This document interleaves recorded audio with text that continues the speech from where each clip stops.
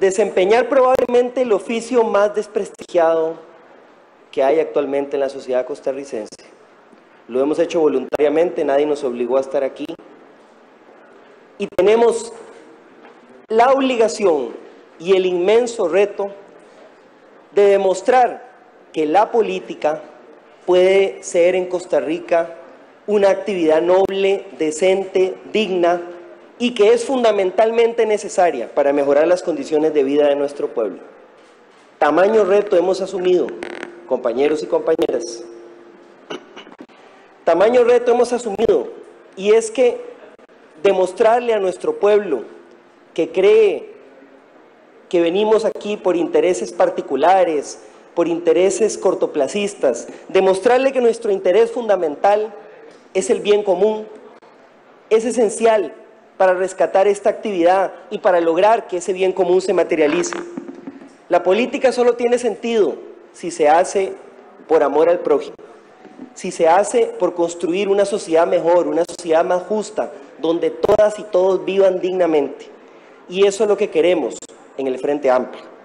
Pueden ustedes contar, compañeros y compañeras diputadas, con esta fracción legislativa como una fracción leal, una fracción que dará batallas con firmeza, que será firme defendiendo sus principios y denunciando la corrupción, pero que también estará siempre dispuesta a dialogar, a buscar acuerdos, a discutir con fundamento y con propuestas para lograr el avance que nuestro país necesita.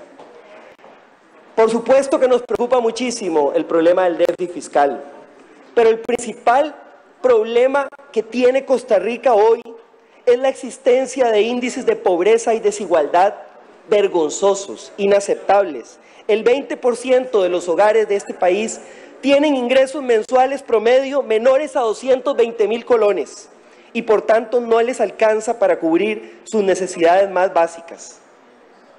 Son 305 mil hogares que sobreviven en la pobreza y de ese total hay 86 mil en pobreza extrema, con ingresos mensuales promedio de 96 mil colones, que no alcanza ni para la comida.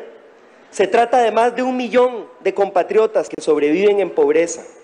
La pobreza tiene rostro, rostro de mujer, madre y jefe de familia, de niño y niña, de habitante de las regiones periféricas. El porcentaje de hogares con jefatura femenina es de 44,8%. El promedio de los hogares pobres está integrado por cuatro personas y de ellas al menos una es niño o niña. El porcentaje de personas pobres en las zonas urbanas es 18.5%, pero 24% en las zonas rurales. Y en la región Pacífico Central y Brunca casi del 30%. El 30% de la población pobre no está asegurada y un 20% de las viviendas pobres no tienen servicios de agua potable. Hay 136 mil viviendas en mal estado, habitadas por casi medio millón de personas. En los últimos años ha crecido de forma vergonzosa la desigualdad social en Costa Rica. El coeficiente de Gini que la mide no nos deja mentir. En 1988 llegaba a 0,358 Hoy es 0,514. Somos el país de América Latina que no ha logrado reducir la desigualdad social. Y eso significa, en términos sencillos, que los ricos son cada vez más ricos y los pobres cada vez más pobres. En los últimos 25 años, quienes nos han gobernado nos prometieron que esto se iba a resolver con la aplicación de las políticas económicas derivadas del consenso de Washington y siguieron los programas de ajuste estructural para privatizar y liberalizar la economía con la promesa de que la riqueza crecería y se distribuiría de mejor, de mejor manera. Y después aplicaron los ajustes del Banco Mundial y los tratados de libre comercio y promovieron propuestas para abrir mercados, desregular, privatizar las instituciones públicas y supuestamente se iba a crear más empleo y se iba a reducir la pobreza pero esas promesas no se han cumplido. Hay que reconocer que ha habido pequeños avances en la reducción de la pobreza y la desigualdad en los últimos años, pero son avances mínimos. Son cifras que en las últimas tres décadas bajan y suben, pero mantienen la pobreza siempre. Mantienen esa pobreza siempre alrededor de ese 20% de hogares que viven en los límites de la desesperanza, es decir, con falta de comida, de vestido, de salud, de transporte, de educación, de vivienda, de trabajo y de recreación.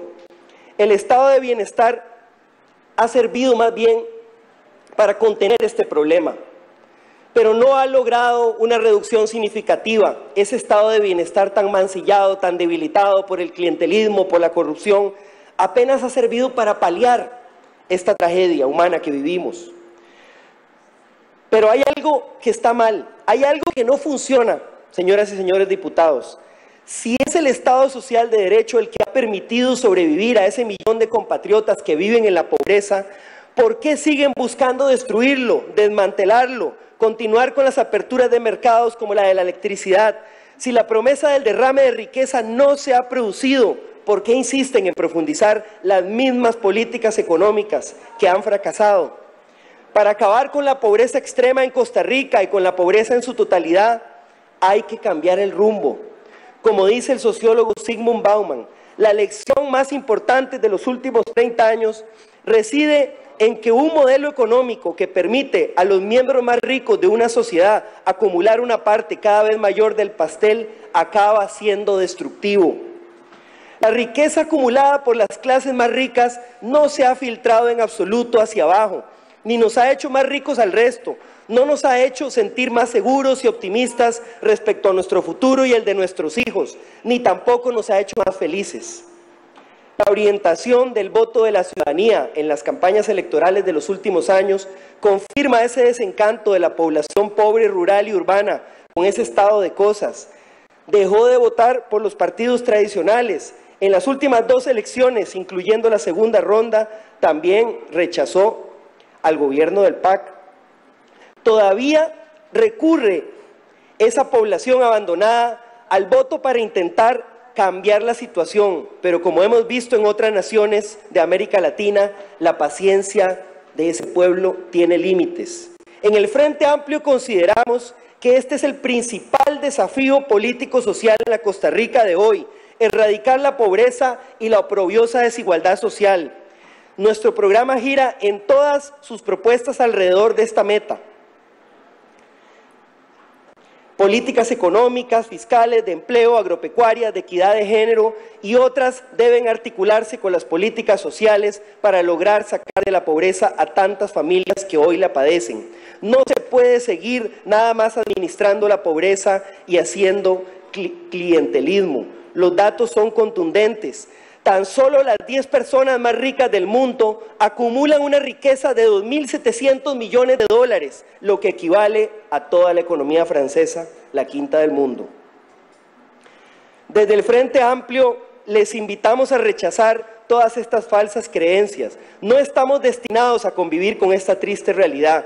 Si queremos paz, seguridad, justicia social, entonces, desde esta Asamblea Legislativa y desde las comunidades, desde la ciudadanía, deberíamos elegir las políticas que fomenten la solidaridad y el bien común. Y eso queremos hacer en todos los ámbitos. Vamos a retomar nuestra lucha contra las formas, todas las formas de discriminación que sufren las mujeres, por el reconocimiento y dignificación del trabajo doméstico remunerado y no remunerado, por la corresponsabilidad social en las labores de cuido, por erradicar la vergonzosa discriminación salarial que provoca que todavía hoy las mujeres ganen mucho menos por igual trabajo y responsabilidad por el reconocimiento también de sus derechos sexuales y reproductivos. Vamos a continuar la lucha por la defensa del derecho al trabajo digno con justicia social. Y lo decimos hoy, primero de mayo. Acabar con la explotación laboral que hoy sufren las personas trabajadoras de las plantaciones agrícolas, lograr que en Costa Rica finalmente exista una inspección laboral que pueda hacer cumplir las leyes laborales, combatir las prácticas discriminatorias que están provocando que a miles de personas en edad laboral se les despida o se les niegue el trabajo por haber sufrido accidentes laborales. Vamos a continuar la lucha por rescatar y fortalecer nuestro sistema solidario y universal de seguridad social, lo mejor de la institucionalidad costarricense, seguir defendiendo a capa y espada los seguros sociales de salud, pensiones y riesgos del trabajo, de las graves amenazas externas, pero también internas, impulsar nuevas acciones y reformas legales para garantizar el pago oportuno de la deuda del Estado y combatir la evasión de patronos inescrupulosos. Vamos a retomar nuestra lucha por la reparación integral de la exclusión histórica que sufren los pueblos indígenas y trabajaremos por aprobar definitivamente la ley de autonomía indígena. Vamos a retomar la lucha por un Estado laico que respete las creencias de todos y todas y volver a levantar con fuerza la reivindicación y el reconocimiento pleno de los derechos humanos de las personas sexualmente diversas. Vamos a seguir defendiendo, como hasta ahora, el presupuesto para la atención integral de los niños y las niñas en abandono y riesgo social y seguir luchando por un incremento real y sostenido del presupuesto para la educación pública, pero garantizando que más recursos lleguen a las zonas rurales y a las comunidades más empobrecidas. Vamos a contribuir a reavivar la lucha de las comunidades costeras y campesinas por la tierra, el respeto a su cultura y el derecho a definir su propio modelo de desarrollo y aprobar definitivamente la ley de territorios costeros comunitarios. Vamos a impulsar la lucha ecologista junto a la gente que se manifiesta en las calles y en los pueblos, denunciando a los que contaminan nuestros ríos, envenenan el aire y entierran con tractores nuestros bosques, e insisten en la suicida estupidez de cortar la rama sobre la que todas y todos estamos sentados. Vamos a seguir luchando para proteger el agua en la Constitución como un derecho humano y un bien público contra el bloqueo irracional de los que creen que se pueden beber los billetes. Vamos a impulsar leyes que demuestren que otro modo de producción y consumo es posible, uno sustentable, respetuoso de los derechos de las comunidades y la madre tierra.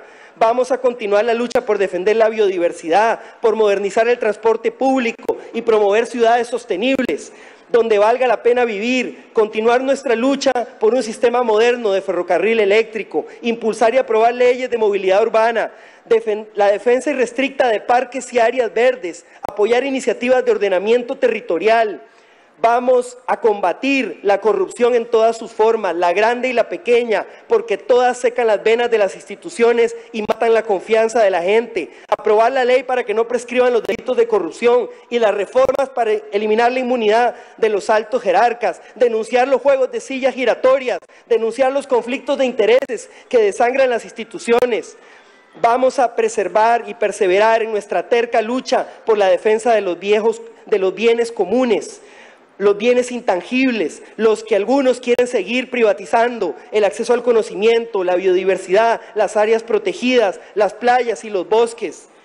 Vamos a seguir nuestra lucha por un sistema económico y comercial donde prevalezcan los derechos de las personas y no la ley de la jungla, aprobar la ley para garantizar precios justos a las medicinas y aprobar leyes para combatir la usura y frenar los abusos en tarjetas de créditos, es decir, tener democracia económica y no solo democracia política. Vamos a luchar para seguir, para modernizar el transporte público. Vamos a continuar nuestra lucha por un nuevo sistema tributario que realmente permita incrementar la inversión social sin hipotecar el, el, futuro de nuestros nietos y nietas. Una reforma tributaria justa, solidaria, porque esa que está en discusión lo es y hay que abrir la discusión para que realmente los más ricos paguen de acuerdo a su riqueza y se pueda reducir la desigualdad social en este país y no se grave la canasta básica. Vamos, compañeros y compañeras diputados, a dar la lucha que hemos venido dando continuar nuestra lucha por una economía y una política que garanticen a todos los seres humanos que habitan en esta tierra y por el solo hecho de serlo, pan, techo, salud, trabajo, felicidad y dignidad, la satisfacción integral de sus necesidades básicas y la oportunidad de desarrollar plenamente sus capacidades. ¿Acaso eso es mucho pedir, compañeros y compañeras?